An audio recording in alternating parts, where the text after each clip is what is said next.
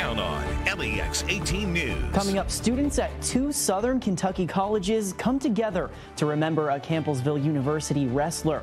Plus, why a proposed state law would place new restrictions on drag shows in the state. And President Biden and former President Trump make dueling visits to the Texas Mexico border as immigration takes center stage in the presidential race. LEX 18 News at 11 starts now. Good evening, I'm Andrew Lamparski. Larry Smith is off tonight. After a Campbellsville University student was found dead in his dorm room last Saturday,